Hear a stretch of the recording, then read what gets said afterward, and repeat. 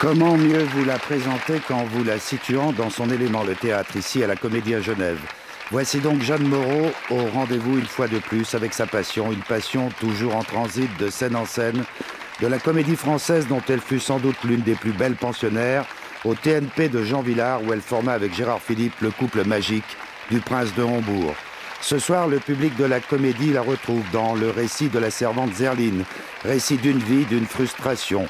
Le rideau va se lever pour la grande communion entre un texte superbe et une actrice qui l'est tout autant. Seule ou pratiquement seule en scène, elle monologue de cette voix incomparable sur les fêlures de l'âme, les retenues du cœur, les vibrations du quotidien. Ces Zerline cassées par la vie à la démarche incertaine, au silence, au souvenir qui poignardent la mémoire. Ces mais c'est aussi notre Jeanne, grande prêtresse de la messe théâtrale, servie dans le silence religieux que lui renvoie le public recueilli. C'est beau et simple comme l'amour, cette rencontre dans cette salle de la comédie. Et quand soudain la lumière s'éteint, les applaudissements arrivent presque comme des intrus, violeurs de magie. La qualité de Jeanne Moreau, du salut au public est sans doute l'un des plus beaux actes de respect et d'amour adressés à ce dernier qu'il m'a été donné de voir. Ça tombe bien, car Jeanne aussi, nous, on vous aime. Comme euh, la Cinémathèque suisse à Lausanne, qui fait une rétrospective de vos films au cours du mois de février et de mars, vous aime comme le public de la comédie qui vous ovationne chaque soir vous aime, comme le public européen qui vous a désigné comme la meilleure actrice européenne avec Marcello Mastroianni comme meilleur acteur et Federico Fellini meilleur réalisateur, vous aime comme vous aime la profession du cinéma qui cette année vous nomme pour les Césars avec le film de Jean-Pierre Mocky. Bref, tout le monde vous aime. Bonsoir Jeanne. Je suis très touchée, très émue de ce que vous me dites. Et je voulais vous dire que le générique de votre émission n'était pas tant. C'est gentil. Il y a longtemps, il y a longtemps qu'on ne s'est vu, parce que, mais ça ne veut pas dire. Vous savez, il y a une chose rare avec vous, c'est que sans que l'on vous voit, on vous sent toujours présente. On vous sent présente à travers les films, on vous sent présente à travers les, les reportages sur vous, les interviews, même quand vous voyagez, que vous êtes entre plusieurs continents, Jeanne Moreau est toujours là. Il y a quelque chose de, de formidable, ce rapport que vous avez avec les gens. Vous le sentez le soir sur scène? Ah oui, c'est un cadeau extraordinaire. Et quelquefois, on me demande si j'ai le trac. J'ai dit non, j'ai pas le trac. Je m'isole pour être euh, avec Zerline. Et quand je suis assise derrière ma porte, je m'assieds toujours dix minutes avant le lever du rideau. J'entends cette rumeur, cette foule. Un jour, je les ai appelés l'armée des anges. Un monsieur m'a dit oh non non non. J'ai dit si si si. Et les sentir là, c'est c'est fou quoi. Et puis cette attention, ce rapport avec le personnage, c'est magnifique. Vous n'êtes pas d'accord que les applaudissements à la fin, parce qu'on est tellement, euh, on est tellement enveloppé euh, dans, dans, cette traversée au long cours qui est le récit d'une vie, celle de la servante Zerline, que tout à coup, les applaudissements sont presque incongrus. C'est vrai. C'est vrai d'ailleurs. Ils sont merveilleux, les spectateurs, parce que après la sortie de Zerline, la lumière descend lentement, lentement. Et quand le noir est là, seulement ils applaudissent. C'est une formidable rencontre euh, entre ce texte et une actrice, non? Avec le metteur en scène, Klaus Michael Gruber, le texte Hermann Broch. Ça, c'est une sacrée rencontre. Je dis, c'est un cadeau incroyable. Oui. Alors ça, vous êtes à Genève, je le dis parce que je ne sais pas s'il y a encore des places, mais s'il n'y en a pas, faut les voler. Vous êtes à Genève jusqu'au 24 février. C'est ça. Jusqu'au 24 février. Après, il y a un petit arrêt. Je serai à Paris donc pour notre soirée des Césars. Car vous êtes la présidente de l'Académie des arts du cinéma. Oui, je vous retrouverai donc. Et puis après, nous partons dans les centres dramatiques du sud-ouest de la France. Et puis après, nous commençons le grand voyage. Amsterdam, Moscou, Leningrad, Vienne, Munich, Rome, Florence, Rome et patati et patala, et l'Espagne. Il y en a pour trois ans Non, non, jusqu'au 15 juin. Barcelone, Saragosse. Euh, alors Jeanne, j'ai beaucoup de questions à vous poser. D'abord parce qu'on ne s'est pas vu depuis longtemps. Vous êtes venue la première fois en 75 après le Festival de Cannes dont vous fûtes l'une brillante présidente. Ça, je le sais. Vous aviez couronné cette année-là Chronique des années de Brest de Lagdar Amina, ce qui avait soulevé bien des tollés. Et en 79, nous avions fait un gros plan ensemble. Alors j'ai revisionné, bien sûr, c'est la moindre des choses, tout ce que vous m'aviez dit. Nous n'allons pas camper sur le passé, je sais que vous détestez, car vous êtes toujours tourné vers le futur. Oui, mais c'est amusant quand C'est amusant. On se fait une petite parenthèse ah, sur le passé avec le film que nous allons voir ce soir. J'ai pris Viva Maria parce que je l'aime beaucoup. C'est vrai que dans votre carrière, il y a le choix, puisque je n'ai pas énuméré tout à l'heure tous les metteurs en scène, mais tout de même, tout de même. Ça serait une question que je vous poserai tout à l'heure. Une actrice qui ne manque pas des rendez-vous avec des grands noms de ce métier, c'est pas du hasard. Nous en parlerons tout à l'heure. Vous, je vous demanderai aussi euh, si vous êtes toujours partagé entre deux continents, l'Europe et l'Amérique, comme c'était le cas. Euh, j'ai beaucoup de questions. Mais Viva Maria, moi j'en ai un souvenir très précis. Dieu sait ce que les journaux avaient écrit à l'époque. La rencontre Bardot-Moreau, ça va faire des étincelles. Louis Mal est fou, il va se faire écharper. Comment ça s'est passé? Ben, Ça s'est passé au départ quand nous sommes arrivés, Brigitte et moi, pas en même temps d'ailleurs, il y avait déjà une armée de photographes, mais du monde entier. Et sur les lieux de tournage, l'équipe était très lourde, il y avait énormément de monde, et il y avait les tables, et il y avait une énorme table pour les photographes. Et comme il faisait très chaud, on avait des auvents de toile et des piliers, naturellement, pour les retenir, accrochés là, des milliers, des milliers d'appareils photo. Qui attendait quoi la, la, bagarre entre Jeanne Moreau et Brigitte Bardot Oui, et ils étaient déçus comme c'était pas possible. On travaillait très dur. C'était au Mexique. Hein. Voilà, c'était au Mexique. Le climat était éprouvant et on a appris à se connaître parce que nous ne nous connaissions pas. Professionnellement, ça s'est passé d'une façon épatante et personnellement aussi. Alors, mais il y a quand même eu des histoires qu'ils ont racontées pour, parce que les bonnes nouvelles, c'est jamais excitant pour eux. Mais ça a été une aventure de travail d'abord, merveilleuse. Et hum, ça a été une rencontre avec Brigitte. Après, nous nous sommes perdus de vue, comme ça arrive souvent, après les tournages. Nous nous sommes croisés quelquefois dans le midi de la France quand j'avais encore ma maison. Et la dernière fois que je l'ai vue, c'est il y a quatre ans à l'aéroport d'hier. Elle était venue attendre un ami et moi je venais de vendre euh, ma maison. Oui. Euh, j'ai lu que dans Studio, vous n'aviez pas souhaité qu'elle revienne devant les caméras Moi, si, à un moment donné, j'ai eu ce rêve un peu fou. Je me disais, oh, j'aimerais faire un film avec Brigitte. Mais voilà. Louis Malle, d'ailleurs, euh, pour vous, Louis Malle, ben, c'est un vieux compagnon de route professionnel. Euh, quatre films, je crois. Hein. Les Amants, Ascenseur pour l'échafaud, Feu Follet, Viva Maria, j'oublie rien. C'est la rencontre avec Louis Mal qui est drôle, parce que, bon, Louis Mal, c'est un type formidable. Euh, il n'y a qu'à voir la gamme de talents quand on peut faire Viva Maria sur un mode léger, western, etc., et puis qu'on fait revoir les enfants, qui est un grand problème qu'aborde Louis Malle euh, à travers une autobiographie. Euh, la rencontre avec Louis Malle est drôle parce que euh, ça s'est passé, vous jouiez L'heure éblouissante. Non, je jouais La chatte sur un toit brûlant. La chatte sur un toit brûlant. De Tennessee Williams. Et il est venu dans votre loge. Et il est venu, il était dans la salle, il est venu dans ma loge. Oui. Et à l'époque, il, était opérateur de, du commandant Cousteau. Et moi, je l'appelais le petit scaphandrier. C'est lui qui a filmé le Mérou dans le monde du mhm. silence. Lui et Jojo le Mérou face à face sous les eaux. Et voilà, je me trouve avec ce jeune homme et qui me propose ce film, une adaptation faite par Roger Nimier, qui est un grand, grand ami qui est mort malheureusement. Et mon agent de l'époque, mon impresario, me dit Mais vous êtes folle Vous venez de tourner La Reine Margot. Moi, j'ai oublié ce film. Bref, je l'ai fait. Et il me dit C'est ce petit ou moi ben, J'ai dit Écoutez, monsieur, je choisis le petit scaphandrier. Et c'est comme ça que j'ai fait Ascenseur. Puisqu'on est sur le, sur le théâtre, là, alors l'heure éblouissante euh, est-il exact? Parce que c'est une histoire formidable. Euh, Suzanne Flon avait un rôle très important. Vous assistiez à toutes les répétitions. Et euh, à un moment donné, je crois que la veille, hein, Suzanne Flon tombe malade. Elle, elle, est tombée malade. Elle a joué le soir de la Générale et elle n'a pas pu jouer la première le lendemain. Et vous? Et moi, j'ai appris le rôle et j'ai joué les deux personnages pendant plusieurs représentations jusqu'à ce qu'elles se rétablissent. Et la critique s'en est aperçue Oui, oh, ben, je crois que la directrice du théâtre, euh, Simone Berriot, à l'époque, a dû prévenir les, journalistes. Mais c'est grâce à la discipline que j'avais apprise à la comédie française. Parce qu'étant jeune pensionnaire, je devais assister aux répétitions des rôles que je doublais, des titulaires, des sociétaires. Alors j'assistais aux répétitions. Et comme j'ai une mémoire qui est auditive et, et, comme, et visuelle, et visuelle euh, ça, ça, a été très très vite. C'était Fernand Ledoux qui faisait la mise en scène, que je connaissais bien du français, qui m'avait encouragé à le faire. Alors tout de même, Jeanne Moreau, euh, tout de même, j'y reviens chaque fois, je vous en ai parlé la dernière fois, mais euh, Louis Malle, Truffaut, Buñuel, Orson Welles, Antonioni, Lozay, euh, Fleming, Téchinet, Kazan, Fassbinder, Deville et beaucoup d'autres. Enfin, vous n'avez manqué personne, presque personne. C'est pas du hasard, ça. Ces rendez-vous qui n'ont pas été manqués. Non, mais il y a de la chance. Allons donc. Il y a les deux. Il y a les deux. Il y a une exigence intérieure que j'ai toujours eu depuis mon enfance pour tout ce que j'ai entrepris et qui a dû. Ça se sent.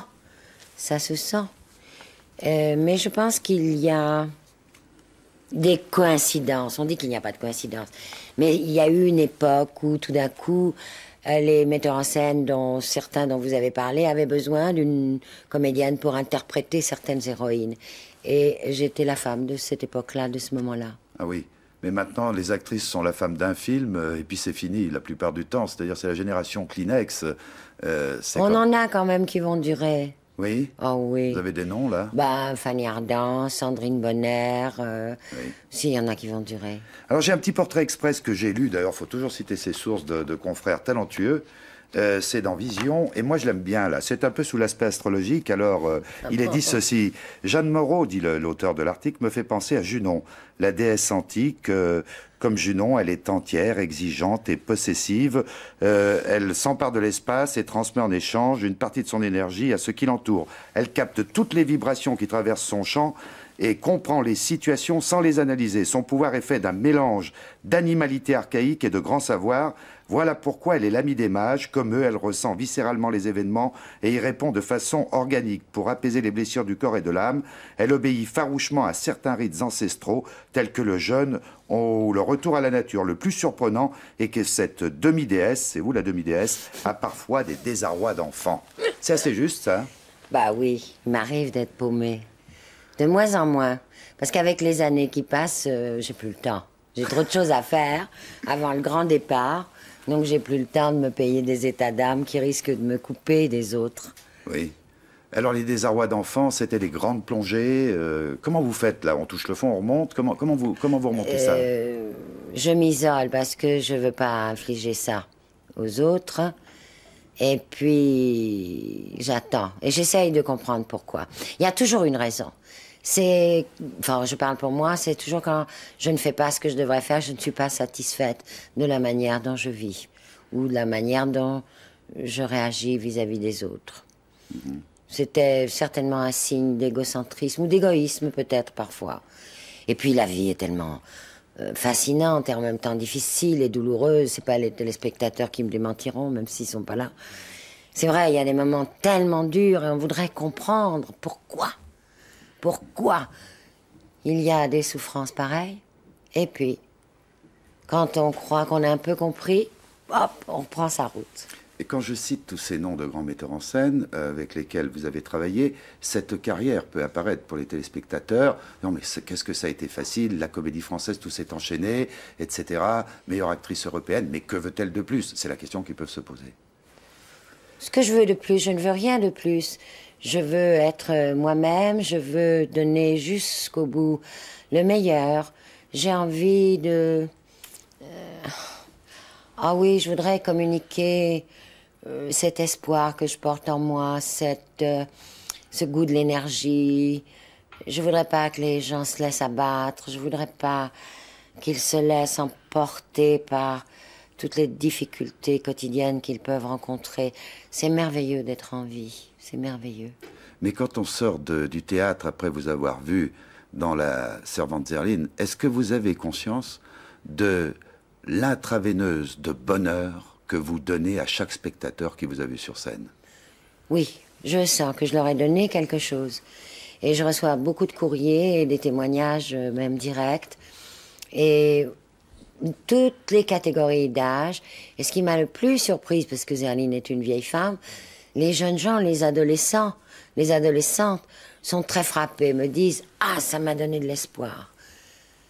C'est fou ça, c'est bien. C'est beau. Nous en étions restés lors de notre dernière entrevue, on ne va pas comptabiliser le nombre des années, Euh, D'ailleurs, quand on vous rencontre, quand on vous rencontre, on ne, on- on ne vieillit pas avec vous. Euh, Dites-moi, Jeanne, euh, le dernier bilan, bon, vous aviez euh, bazardé les appartements, la garde-robe, vous étiez la saltimbanque en camp volant, Oui. entre deux continents, toujours pas de domicile fixe, comme on dit à la police. J'ai un appartement en location à Paris. J'ai plus de maison. J'ai beaucoup de valises. Zerline m'entraîne bien loin. Et puis, je partage un appartement à New York avec une amie. Et je vous dis, j'ai envie de, oui, j'ai envie de voyager, de faire des choses. Vous, euh, l'appartement, on en a parlé. Les deux continents, euh, l'Europe euh, et, Et l'Amérique. Oui, c'est fini l'Amérique. Ah non, c'est pas fini, mais Zerline m'oblige à rester ici. Mais elle va m'emmener aux États-Unis, puisque début 89, nous allons monter le spectacle en américain, en anglais, et nous allons le jouer au Lincoln Center à New York. Ah oui, mais c'est vraiment une tournée mondiale. hein, C'est Oui. euh, complètement euh, extraordinaire. J'avais euh, ouï dire à un moment donné que vous deviez faire, et vous pensez si nous étions attentifs, des portraits de- d'actrices comme réalisatrices. J'ai commencé, j'en ai fait un. J'ai fait tout le travail de préparation, j'ai fait que celui de Liliane Guiche. J'avais une société de production et mon associé a eu des problèmes graves de santé et nous avons dû interrompre. Et là, maintenant, malheureusement, je ne peux pas reprendre. Mais lorsque je vais retourner aux États-Unis, je veux continuer. Le suivant, c'est euh, Betty Davis, euh, Elizabeth Taylor et Ava Gardner, dont j'avais l'accord. Bon, ça, c'est une, une série que vous voudriez faire. Alors, comme la réalisatrice, euh, vous avez fait Lumière adolescente, et vous me disiez, lors de notre précédente Oui. rencontre, un film, c'est comme un besoin, ça arrive, il faut le... Comme on crie un amour, ben, on, on envoie euh, Oui. sur la pellicule. Alors, qu'est-ce qui se passe de ce côté-là aussi? Alors, ce qui s'est passé de ce côté-là, c'est que j'ai travaillé sur un projet et j'ai tellement cette sensation, j'avais déjà tellement cette sensation il y a quatre ans, que les choses n'étaient pas simples au cinéma et que si les spectateurs s'étaient un peu lassés, c'est parce qu'ils ne voyaient pas assez de films exemplaires. Et l'autre jour, j'ai trouvé une phrase formidable écrite par une femme écrivain autrichienne, euh, disparue maintenant, et qui dit ceci La création ne doit pas être du savoir-faire, mais une exigence intérieure. Et L'autre jour à la cinémathèque, je suis allée rendre visite aux spectateurs qui étaient venus voir Gilles et Jim.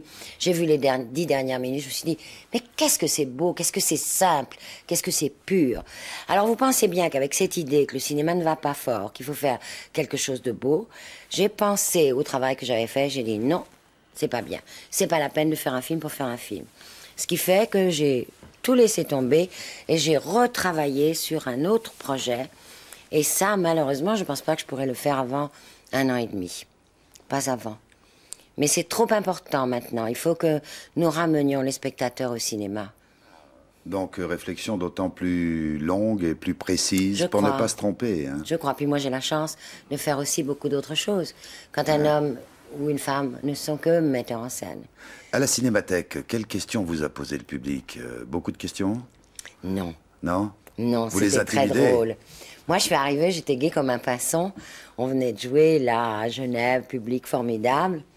Ce qu'ils m'ont demandé, ils m'ont demandé de leur chanter la chanson de Julie Jim, ce que j'ai fait. Oh, Ouais. a cappella? Oui Oh là là, bah, ils ont eu de la chance. Hein. Moi, je n'aurais pas osé vous demander Oh, ça. on s'est amusé. On s'est amusé. Tiens, au fait, vous chantez plus. Eh ben non, j'ai pas le temps, mais je vais le faire. Et je vais faire un spectacle avec des chansons. Oui. Et je vais voyager dans le monde avec les chansons. C'est Jérôme Robbins qui m'a donné l'idée.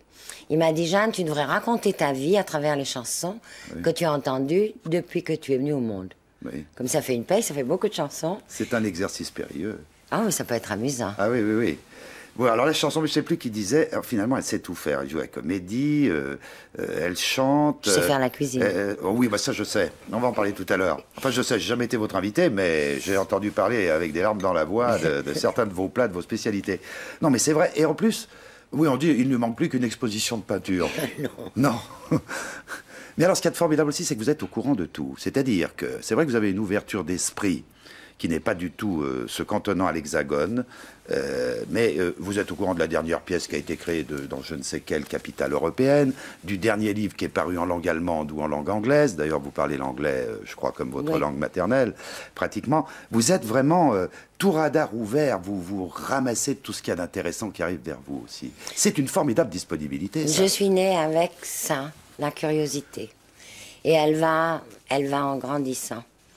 Et puis, vous savez, c'est que le monde est petit maintenant. C'est vrai. Et ce qui nous paraissait si lointain, on est informé tout le temps, tout le temps. Et tout ça est proche de nous. Alors, dans la grande, ligne des, la grande lignée des metteurs en scène que j'ai cité tout à l'heure, il y en a un que j'aime beaucoup et qui vous avez tourné récemment, c'est Michel Deville, Le Paltoquet, où vous faites là une composition formidable d'une tenancière. C'est une Junon, celle-là aussi. Oui, qui est très amoureuse de son miroir. Et c'est un film très beau qui est sur la vengeance euh, et le pouvoir.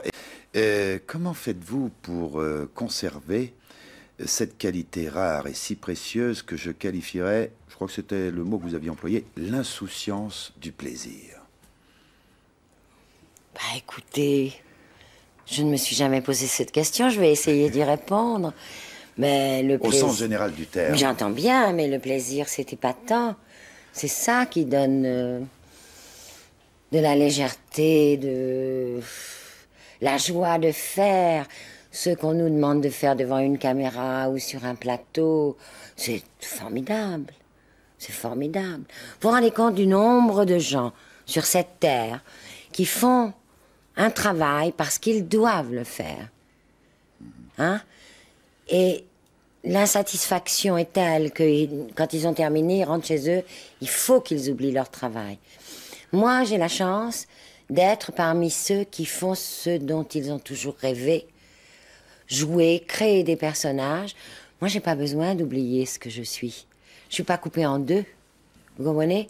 Ça force à la schizophrénie la plupart des gens qui vivent. Et moi, alors, j'ai ce plaisir et cette insouciance, cette légèreté. Comment va ce long apprentissage de la tolérance euh, dont vous m'aviez expliqué que ce fut souvent laborieux puisque vous saviez très bien dire non et que vous avez appris, appris à dire non mais ou peut-être oui mais? Oui. Peut-être parce que j'ai été plus attentive aux autres après un certain parcours après avoir appris que tout est difficile, et tout d'un coup, on ne se regarde plus aussi souvent, soit quand j'y regarde intérieurement, et on voit que nous sommes un grand nombre d'êtres humains et que on fait partie d'un tout et qu'on n'est pas séparés vraiment. Alors on a besoin d'être attentif aux autres. Oui, oui. C'est une, une explication qui se suffit à elle-même. Bon. Euh, bon, eh bien, nous l'attendrons avec euh, intérêt. Euh, de toute façon, si vous avez dit. Et ça, ça m'étonne que les gens soient épatés par l'inceste quand même. Ah ben, il y avait eu, il y avait eu un film qui s'appelle Le souffle au cœur. Il y a eu Le souffle au cœur. Il y a eu La Luna. Oui, La Luna de Bertolucci. Ah oui, et alors là, les, les, les gens, euh, certains, ont réagi avec une violence extrême. Peut-être parce que nous ne sommes, selon une très belle définition de vous, peut-être parce que nous ne sommes que des animaux dressés sur nos pattes de derrière.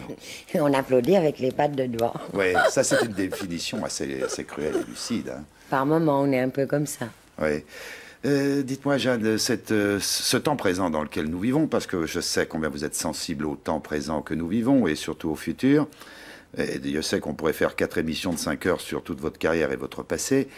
Euh, cette civilisation, vous inquiète pas un peu, une civilisation qui est axée uniquement, presque uniquement sur le jeu. Vous voyez les émissions de télévision, hein? C'est le jeu, le jeu, l'appât du gain, l'argent. C'est pas une, une, civilisation qui, qui a l'âme qui est en train de foutre le camp, ça? Comment vous ressentez ça, vous? Je ressens que les gens qui veulent capter, les gens qui ont le pouvoir et qui veulent capter l'attention des téléspectateurs, euh, sont prêts à faire n'importe quoi. Et nous avons de tout en nous, je le sais bien. Euh, on choisit sa manière de vivre, mais nous avons toutes les capacités, les meilleures et les pires. Et alors tout d'un coup, euh, les directeurs de chaîne confondent les gens avec quelque chose qu'on peut manipuler. Ils y arrivent. Ils y arrivent quelquefois. Euh, la Terre est dans un grand désordre. Mais voyez ce qui m'a frappé, moi, aux informations euh, d'aujourd'hui. Dans le journal de Jean-Philippe Rapp, oui. Voilà. C'est que la Terre, là, notre vieille Terre se rebelle. Oui. Voilà, Tipa, qu'à un endroit, elle s'effondre. Elle, s'effondre. Un autre endroit, c'est des rochers qui éclatent. Euh, notre Terre est vieille. Elle se fatigue et on devrait en prendre davantage soin en commençant à prendre soin de nous-mêmes. Vous ne pensez pas que la culture serait la meilleure transfusion pour qu'elle se régénère un peu, cette bonne vieille terre? La culture, ben, elle a cultivé la terre, comme disait mon père. Oui, avec le soc et la charrue. Oui, comme disait, oui, oui. Parce que mon père, moi quand je dis, on dit le mot culture, d'ailleurs ça me fait toujours drôle, moi ça me fait penser aux paysans. Oui. Pardon. C'est vrai, l'homme oublie, l'homme oublie trop. Je voudrais bien qu'on revienne à la création, parce que c'est un point que vous avez abordé tout à l'heure. Et c'est vrai que la création, c'est un acte finalement très solitaire et, très mystérieux. Oui, très solitaire, très mystérieux. C'est une grande responsabilité. On ne peut pas faire n'importe quoi. Comment ça se passe, je ne saurais pas l'expliquer. Parce que je crois que pour chaque euh, artiste, c'est différent. C'est. Ah, j'aimerais bien pourtant que vous essayiez, à défaut de le définir de façon euh, cartésienne, vous me donniez les vagues, euh, les prémices qui arrivent, qui font que les choses... Eh bien, on pourrait envoyer, employer le mot clairvoyance. Vous savez, on parle beaucoup des clairvoyants, on parle euh, de l'astrologie, on parle euh, de la parapsychologie, mais je crois que lorsque nous travaillons des personnages, il nous arrive des choses que nous ne maîtrisons pas. Ça n'est pas notre pensée qui l'a provoqué. Pas du tout. Moi, quand je joue Zerline, il m'arrive de revoir des vieilles femmes que j'ai connues dans ma vie et que j'avais complètement oubliées. Je me surprends à faire des gestes qui ne sont pas les miens. Je crois qu'on reçoit. C'est l'instinct, ce qu'on appelle l'instinct, d'où ça vient. Mm-hmm. Hein? Mm-hmm. Alors bien sûr, il y a une méthode, il y a une discipline, il faut apprendre son texte, il faut écouter euh, le réalisateur ou le metteur en scène, il faut être très sensible à ceux qui sont avec vous, non seulement sur le plateau, mais qui travaillent à la technique, aux lumières ou au cinéma, qui sont derrière la caméra. Il y a cette concentration, mais au-delà du travail qui est accompli, il y a un petit souffle intérieur qui nous vient je ne sais d'où et qui fait que la création devient vie un personnage est un personnage. C'est plus Jeanne, c'est plus euh, Belmondo, c'est plus un tel, c'est le personnage. À quel moment, euh, au départ, j'imagine qu'il y a une espèce de terreau très fertile où tout prend racine et pousse. À quel moment euh, ce terreau est supplanté par le métier et la technique? Si il est supplanté, un jour. Moi, c'est la chose qui me ferait le plus peur. C'est vrai? Je voudrais que ça ne m'arrive jamais. Ah non, il y a des tentations, quelquefois, de se réfugier sur la technique. Il faut faire très attention à la fatigue. Il faut faire très attention au succès. Parce qu'on peut se dire, inconsciemment, c'est gagné, j'arrive, je fais mon truc et tout ça. Non, non. À chaque fois, il faut que ce soit une déchirure. À chaque fois. On doit tout, tout, tout donner. Comment est-ce compatible ce cheminement de la création dont vous venez de si bien parler cet acte mystérieux avec en finalité des juges, c'est-à-dire des gens qui récompensent. La récompense et la création. Vous avez été euh, euh, Grand Prix du Festival de Cannes avec Moderato Cantabile. Les récompenses dans votre vie, vous en avez eu beaucoup. vous risquez peut-être d'avoir le César le 12 mars. vous croyez que c'est compatible la création avec le pouvoir ou les pouvoirs qui récompensent? Vous savez, quand on est dans le travail de la gestation, qu'on prépare, on pense pas à cela.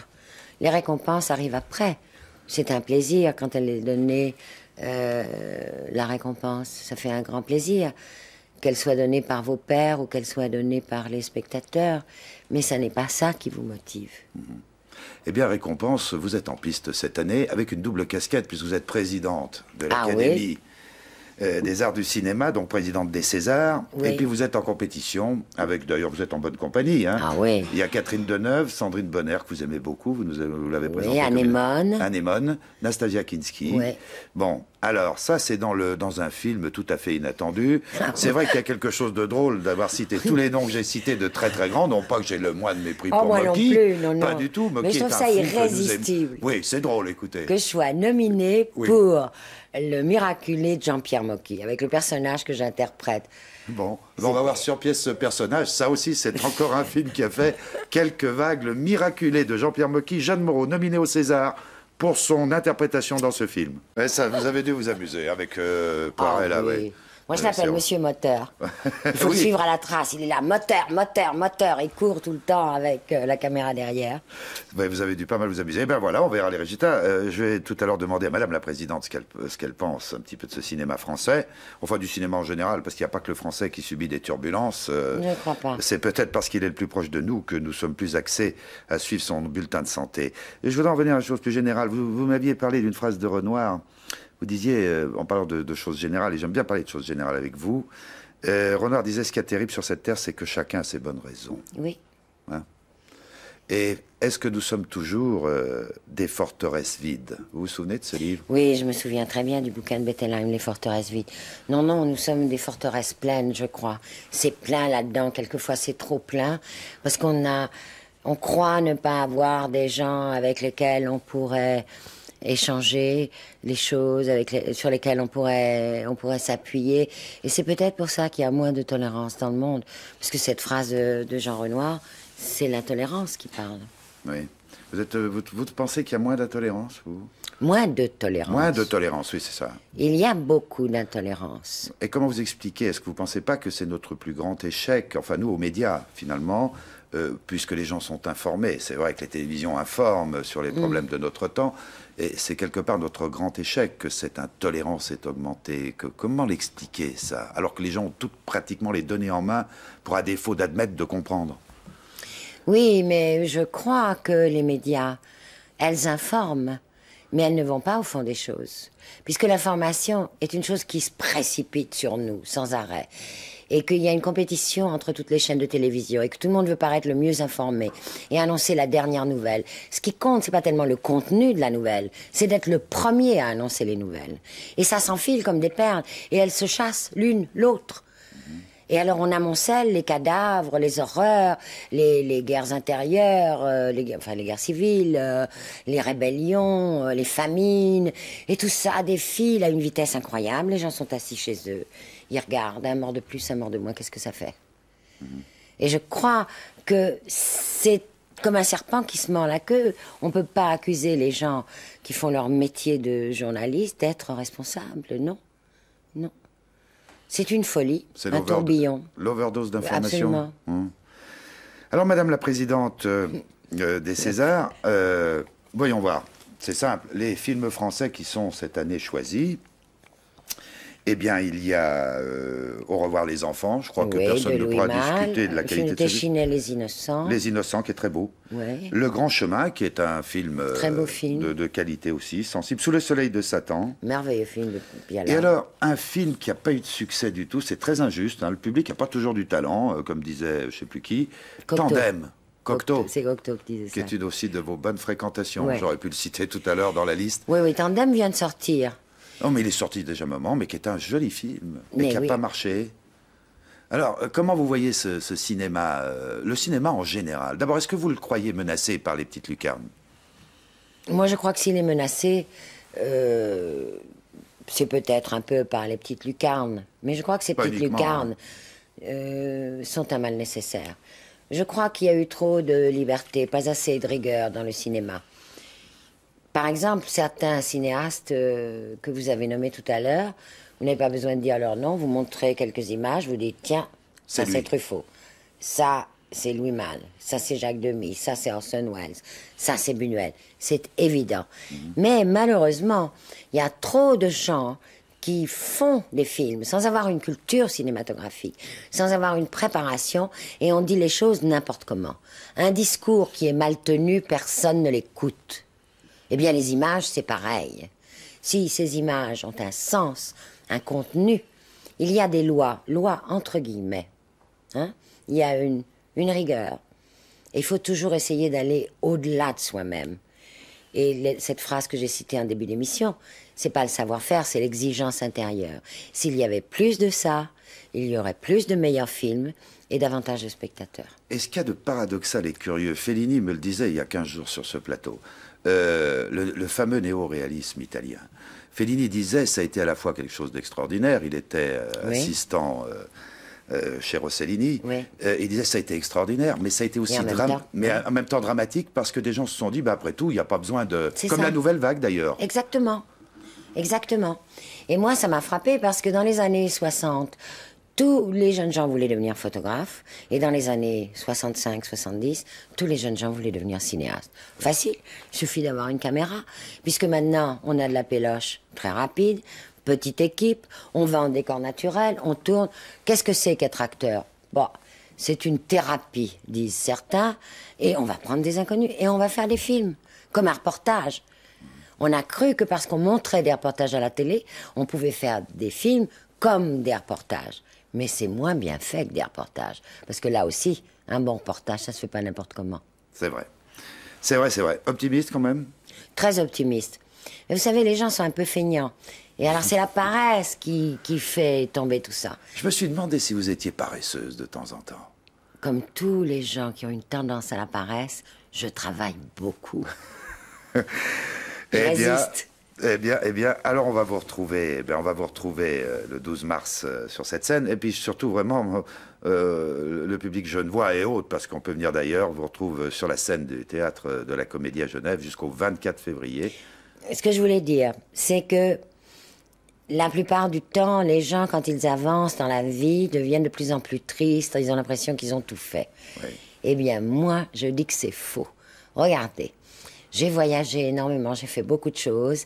Eh bien, j'étais vierge, je n'avais jamais joué sur une scène à Genève. C'est vrai Hein? C'est fait. Ça y est. C'est fait. Et le tour du monde. Je vous trouve en pleine forme. Hein. Je suis très bien. Ce, quand même, la cigarette, ça y va fort, hein Bah. Bah. Vous, mais c'est vrai que vous... De... Cinq. Quoi? Cinq, là. Alors, est-ce bien, raisonnable? Cinq, oui. Bon. J'ai pas envie de m'arrêter. Oui. Après tout. Si, si je chante, je m'arrêterai. Le temps de chanter. Après, je recommencerai. Bon, le pari est pris. Euh, faites-vous moins rare, parce que d'abord, vous nous manquez. Et puis. Et moi, je vous remercie du beau cadeau que vous m'avez fait. Et puis, parce que vous savez qu'on vous aime, Jeanne. Merci. Merci. Bonsoir à tous. Au revoir à tous. Et à lundi prochain. Bonsoir. C'était merveilleux.